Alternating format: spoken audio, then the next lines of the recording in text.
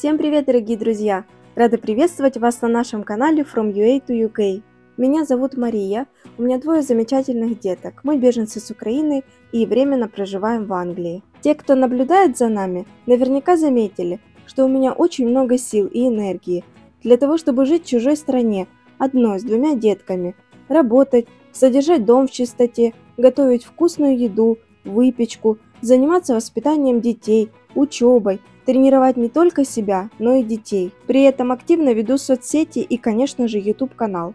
В чем же секрет? Где я беру силы, энергию и мотивацию? И как же я все успеваю? Сейчас все по порядку расскажу. А также поделюсь небольшими лайфхаками. Как я рассказывала ранее, хлеб в Англии не очень вкусный, а тот, который вкусный, стоит просто баснословных денег. И естественно, я его делаю сама. Хлеб я где-то делаю раз в 3-4 дня. Если кому интересно, рецепт оставлю в описании, потому что это очень-очень простой способ приготовления дрожжевого теста. Он не требует много времени и всего уходит около 20 минут.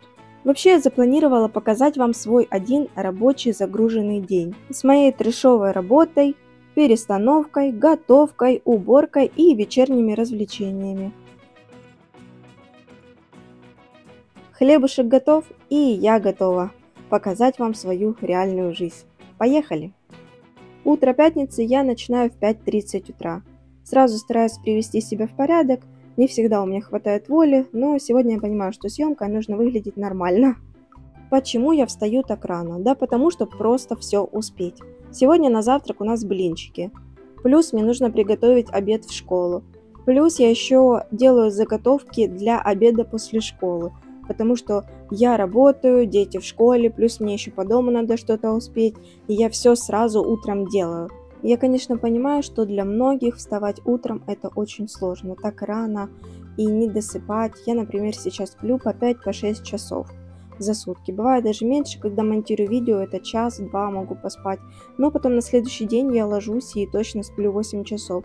Но все равно, можно сказать, этого недостаточно. Но я уже так привыкла, я настолько натренировала свой организм, что в принципе мне этого хватает. Но раньше, например, до детей мне было очень сложно спать меньше 10-12 часов. За все это время я поняла одно что наш организм это просто робот. Это такая роботизированная система, как ты его приучишь, как ты его научишь, просто нужно время. Так он и будет действовать. Если ты приучишь его спать по 5-6 по часов, он будет выкручиваться и брать энергию из каких-то других источников, ты не будешь чувствовать себя уставшим или неполноценным. Я чувствую себя очень хорошо и у меня много энергии. Конечно же, я не призываю никого не досыпать или еще что-то, но это и есть один мой пункт, почему я все успеваю. Я просто мало сплю. Итак, вернемся к видео. Параллельно с блинчиками я мариную мясо. Это мясо дети будут кушать после школы. Еще, я не готовлю каждое утро блинчики. Это долго. Один день у меня блинчики, на второй день у меня бутерброды, хлеб хотя бы домашний. На третий день там каша или какая-то котлетка. В общем, я чередую, потому что так все сложно успевать, если честно. Также я чередую тормозки с завтраками. То есть один день я делаю сложный завтрак и более легкий тормозок в школу, на второй день это все наоборот. Соответственно, сегодня у меня несложные тормозочки детям. Это будут наггетсы, котлетки, огурчики и если останутся блинчики, им тоже с собой положу на десерт. Блинчики будут с медом, это очень вкусно, я так люблю их, ужас просто. Я, кстати, всегда ем на ходу, особенно завтрак, потому что я сейчас худею, и мне нужно хоть как-то успевать делать эти три основных приема пищи, поэтому часто я кушаю на ходу. Но я так уже привыкла, меня это в принципе не напрягает. Еще, если вы заметили, я делаю очень много дел одновременно. В этом мне помогает моя работа, прошлая моя работа в кафешках. Я работала поваром, работала официантом, поэтому у меня есть такие навыки. Я умею делать заготовки, в общем, очень много дел одновременно. Это еще один пункт, почему я все успеваю. Что там, ты хотела проверить хочешь? Да я хочу это снять. Ну, Все. Представь, Ну, все, не расстраивайся. Слушай, слушай, попробуй блинчик, ты обалдеешь. Ты такие вкусные блинчики еще не ел. Илюха, же блинчики сладкие. А еще опыт работы официантом меня научил быть хорошим психологом. Резко переключать внимание людей в ту сторону, в которую мне нужно. Также правильная презентация блюд. Даже с сонным Сашунькой это сработало. Он такой весь нервный, ему не нравятся штаны, ему не нравится кофта, ну как всем детям в принципе. Я резко переключила его внимание, как-то его увлекла, развлекла, и в принципе все, он спокойно кушает, он не нервничает. Это еще один пункт, почему я напрягаюсь насчет готовки и делаю то, что именно нравится детям, особенно утром. Потому что они такие нервные, они могут так вынести мозг, что ты просто на целый день ходишь весь нервный, весь разбитый и побитый, как собака. А когда ты приготовил ребенку то, что ему нравится, то, что он любит, то он становится добрее и щадит своего родителя. Я уже доделываю тормозочки и заметьте, что каждое блюдо у меня лежит по отдельным боксам. Судочки небольшие, как раз вот порционные, сколько нужно детям, столько туда и влазит. Дети это все съедают, самое главное, все, чтобы я не положила. Даже эту гречку, хотя каши дети не особо, да, любят. Но с голодухи, вы знаете, они все съедят. Хотя раньше было абсолютно все по-другому. У них были большие судочки на три отделения. Я ложила туда три блюда. В процессе ходьбы и учебы вот эти судочки тряслись в рюкзаке, и вся еда между собой перемешивалась. Естественно, детям было это неприятно кушать, и они это просто не ели. Вот такие небольшие лайфхаки для мамаш, тех деток, которые еще не познали тяжелой жизни. Ну а пока детки вальяжно кушают, я собираю их не тормозочки, рюкзаки и собираюсь успеть хоть что-то еще поубирать. Ребят, выпейте, пожалуйста, кальций. Все. Саша, чаем запей. Илюш, чаем запей. На ручку, что ты не забыл. Также я детям даю некоторые витамины. Не буду говорить какие, но знаете, то, что действительно нам помогает, это магнезиум. Я его еще раньше когда-то давала, нам прописывал его педиатр. Тут мне некому сходить, потому что тут медицина просто ужас. Поэтому я сама купила магнезиум, прочитала, поскольку его давать деткам, и они стали себя намного лучше чувствовать. Например, Сашка, старший ребенок, очень сильно кричал каждую ночь, его не могла успокоить. Такая вот реакция организма на новую страну, новое общество, новую школу. И в тот же день, когда он выпил первую таблетку, он перестал кричать. Дети стали более спокойные. Они не стали какие-то вялые или, я не знаю, неживые. Нет, они у меня очень активные, гиперактивные. Ничего не поменялось. Они просто стали меньше нервничать.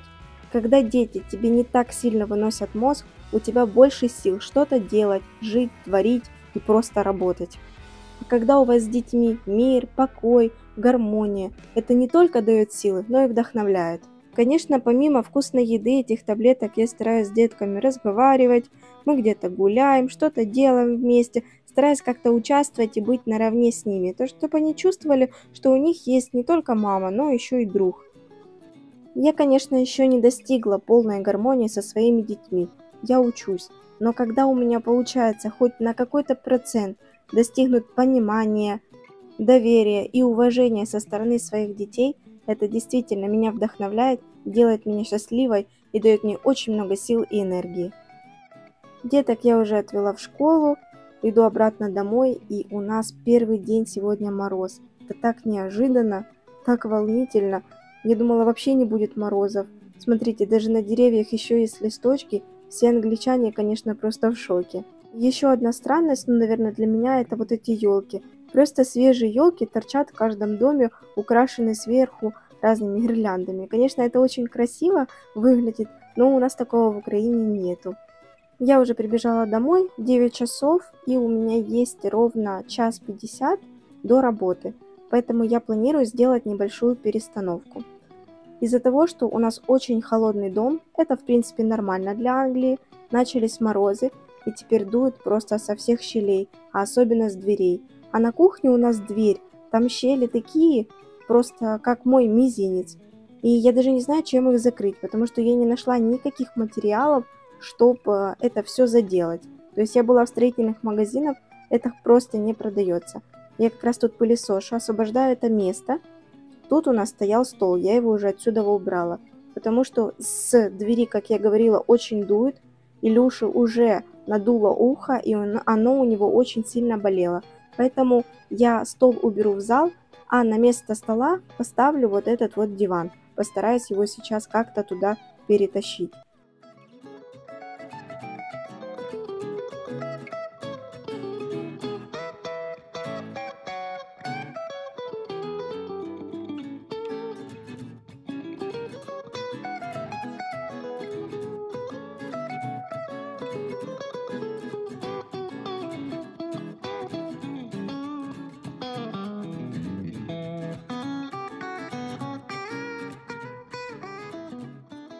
Ну, как вы поняли, я его перетащила. Для меня нет ничего невозможного. Я как раз сразу освобождаю стирку.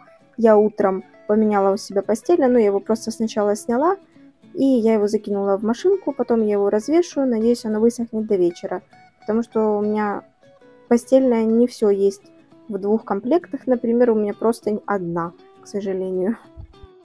Дальше буду доделывать перестановочку. Конечно, это надо все убрать, потому что за диваном там всего накидано, как всегда, то лего, то еще что-то.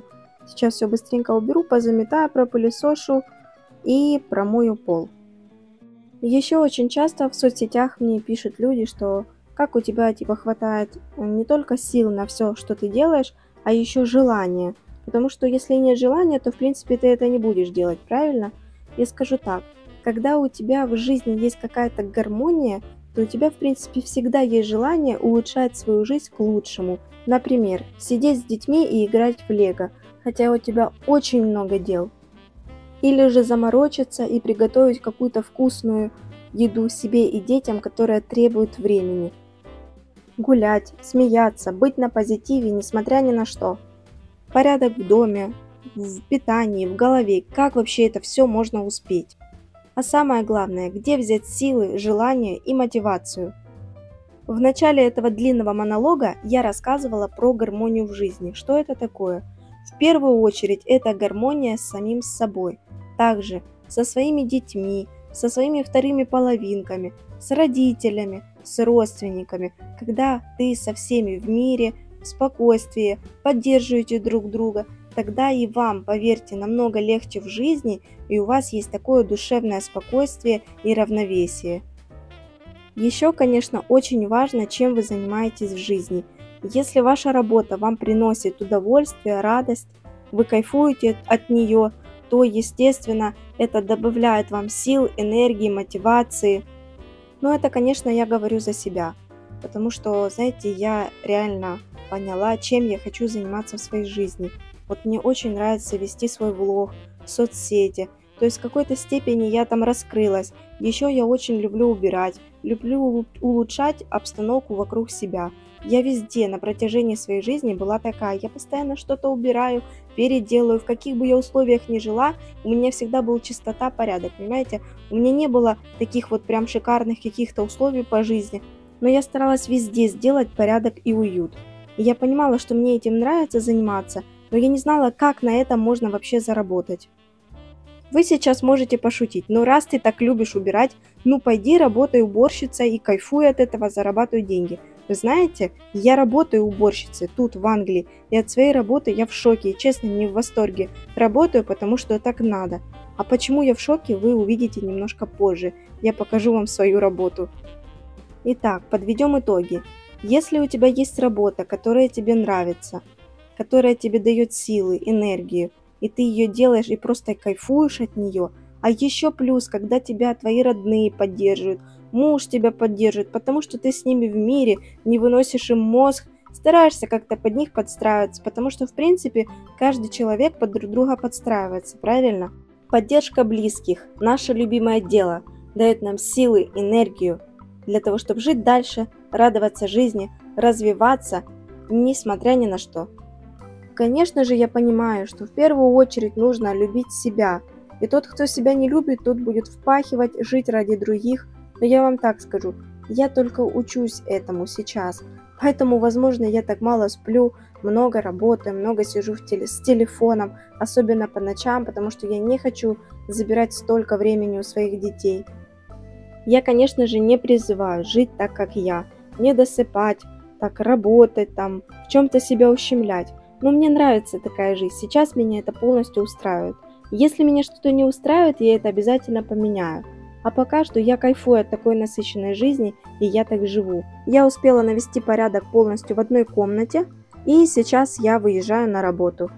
Я решила все-таки показать эти кадры, они не для слабонервных, пожалуйста. Если вы брезгливые или впечатлительные, то лучше промотайте и не смотрите это все.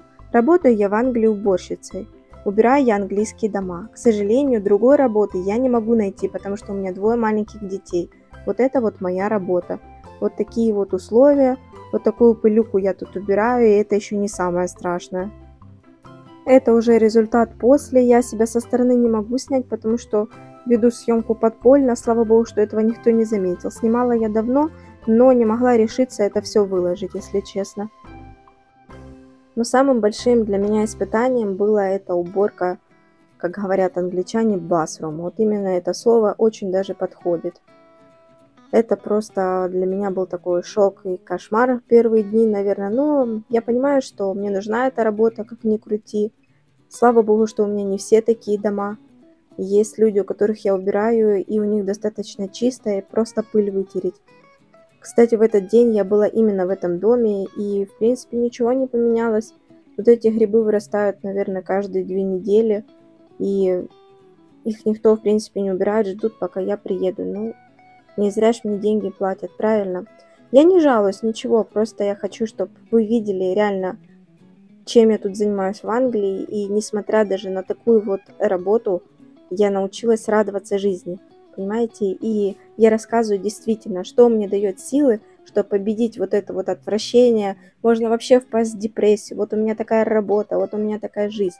Нет, все хорошо в жизни. Это работа временно, все будет хорошо. Кстати, я тут уже поубирала. Отработала два часа, сегодня на час меньше, меня попросили ускориться и дали меньше работы. Забрала свои 20 фунтов и отправилась домой, слава богу. Сейчас буду дальше заниматься уборкой и также буду готовить кушать. Как всегда у меня стирка, это у нас бесконечный процесс. Я, как говорила, уже такое чувство, что у меня 10 детей, не двое. Ну, в принципе, это нормально, я думаю. Дети, они всегда такие у меня живые, активные, вечно падают где-то, бегают, кувыркаются вечно в этой грязи. Ну, в общем, ладно, я развешиваю стирочку. Сейчас разберу то, что сняла. Двери у меня тоже вспомогательный элемент для сушки всяких там простыней, пододеяльников, потому что у нас на улице такая сильная влажность, даже когда нет дождя, стирка вообще никак не высыхает. Ну, это Англия, у нас тут такой влажный воздух, вообще непривычно. Я еще до сих пор, уже больше чем полгода тут не могу никак привыкнуть. Разбираю вот это вот окно, с него, к сожалению, очень сильно дует и я его завешиваю. В ближайшее время я также переставлю кровать от окна. Я еще подумаю, как это все сделать, но пока я его завешиваю, в принципе, оттуда не дует. Я застелила детскую кровать, и, в принципе, все. Я второй этаж просто не успеваю доубирать. Я уже завершаю с первым этажом, заканчивая то ковер разложу, то еще что-то там поставлю. И, в принципе, все. Будет у нас порядок.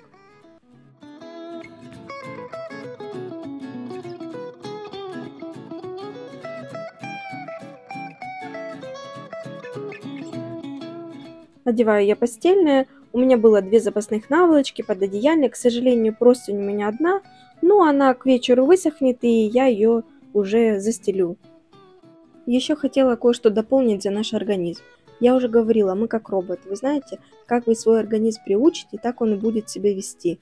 То есть, если вы приучите в одно время вставать, вы будете в одно время вставать. Если вы приучите себя к какому-то конкретному графику, то вы всегда все будете успевать, и вы уже сами будете это делать на автомате. Это уже проверено 100%.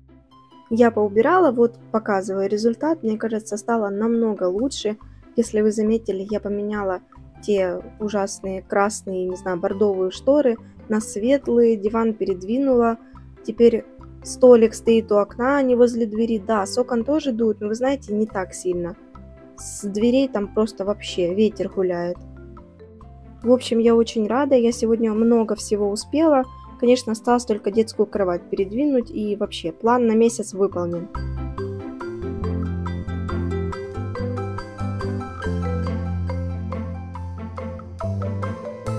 Следующее, что мне нужно сделать, это приготовить обед себе любимой. Сейчас я на диете, и я стараюсь более-менее правильно питаться, поэтому приходится готовить себе отдельно. Дети такое точно не едят, перец, рыбу они вообще не употребляют. Также я сделаю себе салатик. Мне так понравилось просто нарезать какие-то салатики, зелень, какие-то листочки, заправлять их лимоном, всякими специями, маслом, и все очень-очень вкусно. И еще один пункт для моего хорошего состояния – это вкусная еда. Вот такая вкусняшка получается. Когда я покушаю то, что именно мне нравится и хочется, я просто счастлива. А имея работу тут, я могу себе позволить и кушать то, что я хочу, и от этого я тоже очень-очень счастлива.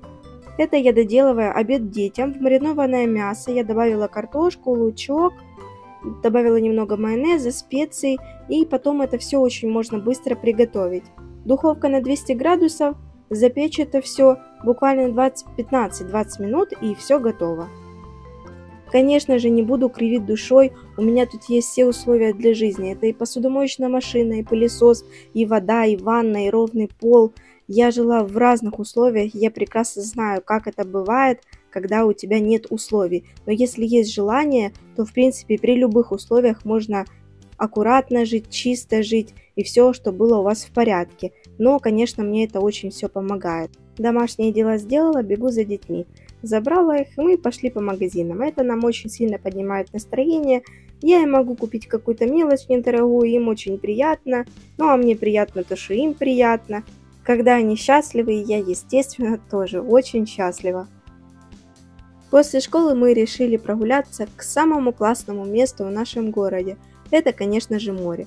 Тут можно побегать, покричать, посмотреть на волны, пособирать камушки, покидать же эти камушки в море. Тут очень классно. Мы отдыхаем тут не только телом, но и душой. Итак, подведем итоги. Что же все-таки помогает человеку вести такой активный образ жизни, быть все время замотивированным, иметь много сил и энергии? Первое – это хорошие взаимоотношения с твоими родными, с людьми, которые тебя поддерживают, которые знают тебя лучше всего. Второе – это твое любимое дело или твоя работа, если что-то из этих двух у тебя есть, значит у тебя есть 100% то, что тебя мотивирует. Второе. Я научилась чем-то жертвовать своей жизнью. Например, я очень чистоплотна, и я имею такую вот профессию, от которой меня часто тошнит. Но я на этом не зацикливаюсь, ведь у меня есть очень много всего позитивного в жизни, правильно? Благодаря этой работе я могу много заработать, я могу покупать еду, которую хочу, мы можем гулять, где мы хотим, да мы можем все, что угодно тут делать. Самое главное, у нас тут нет войны, у нас есть крыша над головой, значит все в жизни хорошо. Понимаете, не зацикливайтесь на чем-то плохом, благодарите за мелочи, и тогда у вас все будет в жизни хорошо. Если ты научился радоваться чему-то малому, это не означает, что ты какой-то приземленный или недалекий. Нет, это означает, что ты достиг какого-то определенного духовного развития и гармонии с самим собой. Ну что ж, буду заканчивать наше видео. Думаю, оно вам понравилось. Если так, то обязательно поддержите нас вашим лайком, комментарием и подпиской. Спасибо, что смотрите нас. Спасибо, что досмотрели это видео до конца. Всем мира, всем пока!